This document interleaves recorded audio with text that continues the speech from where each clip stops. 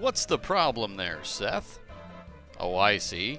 You have this dope model all ready to go to production, and peeps be all up in your grill about the drawing.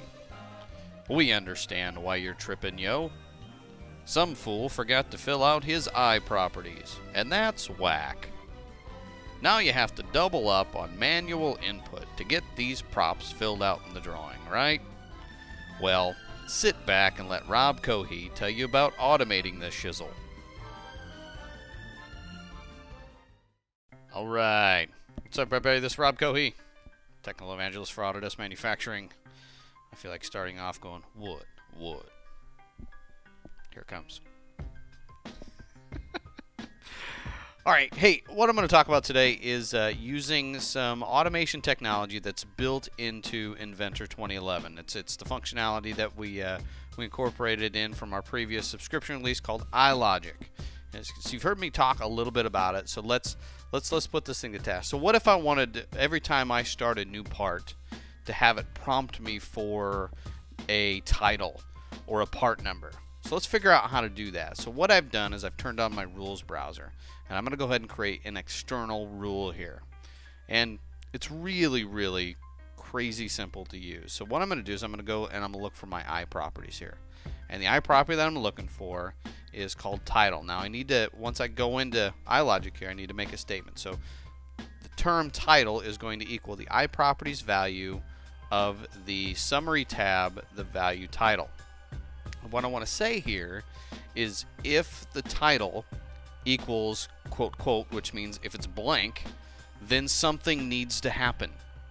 I want Inventor to prompt me, or the user rather, for the title. So here I'll go in and say, all right, let's let's type in the prompt. So the title equals input box is going to pop up, and it's going to say, please enter the iProperty for the title. And the reason that's so important is as you saw right at the beginning was maybe you have your title blocks automatically linked to your models and if people are making drawings of your models you expect those two things to line up and they don't you're going to get frustrated like my man Seth did right at the outset of the video. Uh, I have way too much fun setting up these videos. But either way here's what we're going to do. So you can see that the string that I've typed out there and I'm going to say you know it's the iProperties check is your title filled out? And it probably isn't if this dialog box came up. So then I need to I need to do one more thing, and so I, have defined what title is, and then uh, I go through and tell it grab the value from this input box, and now the iProperty value, which was previously blank, um, is going to be filled out. Now I, I forgot to end the if statement, so iLogic tells me, you know, hey, you non-programming hack uh, you didn't do your job correctly. And no, I didn't, so I needed to put end if. So now you can see as soon as I hit go, it executes the command and it says, "Hey, dude, what's your um, what's your title?" And I go ahead and type in widget, and there it goes.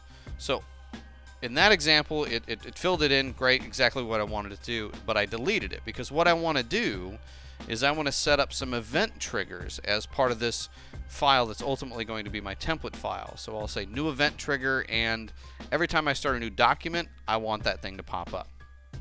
Or every time I save it and it's still empty, if somebody cancels out, for example, I want it to pop up. So here I'm going through the saving process. It saw that it was empty and it said, you know, why are you tripping? Uh, your stuff's still empty. So let's go ahead and put a different value in there just to show you the difference here. And bring up the iProperties again. And there we go. It's all in there. Now another commonly used one is going to be uh, part number. Now by default, part number with Inventor is automatically set to your file name and you may or may not want that to be the case. So let us set up a rule that uh, for part numbers and make sure that A, the part number is filled out, but B, it's not set to the file name. Okay, um, if you want to do that. So I've kind of skipped ahead a little bit because setting this up is the same. So if part number equals blank, here's where it's new. Or part number equals, I don't know, let's figure it out here.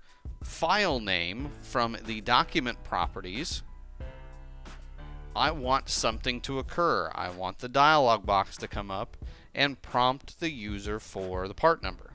So what I'm telling Inventor here is every time I save a file, which is that's going to be one of my event triggers for this rule, and it finds that the part number is either empty or it's equal to the file name to prompt me yet again for what this value needs to be. And it's uh, yes, I fast forwarded there, but it's it's it's essentially the same thing that I did in the last example. Plus, you have the ability to do pause and rewind.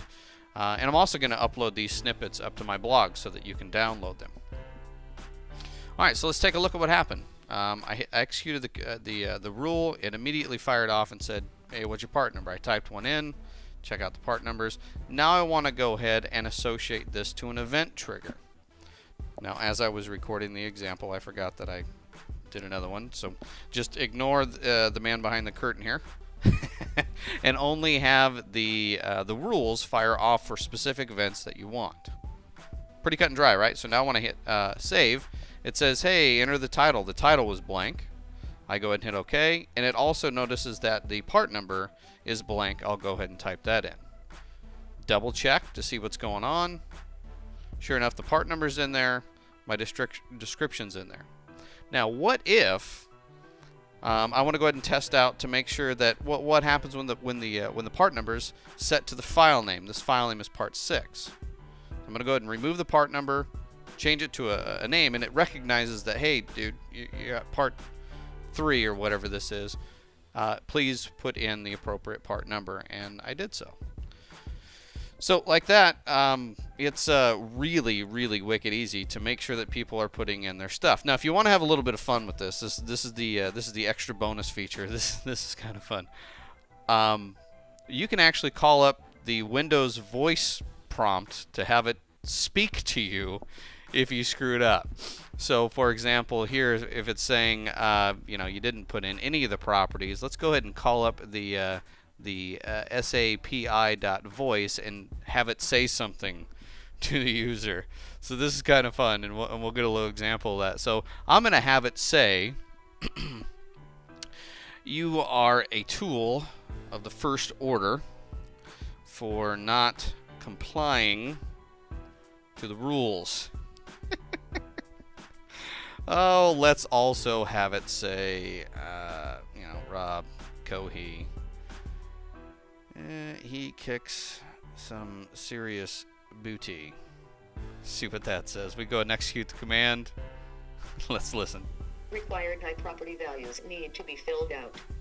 You are a tool of the first order for not complying. Lobco here kicks some serious booty. Yeah, nothing better than that, guys. So, if you're tired of repeating the same tasks over and over again or trying to get people to adhere to certain standards, there's some built in functionality right inside of Inventor 2011 that will give them the proverbial slap across the face, back of the head, or even tell them that they're falling behind with some of the voiceover stuff we just showed you. Uh, more iLogic uh, fun to, uh, to come. Take it easy, guys. Make money, money make money, money.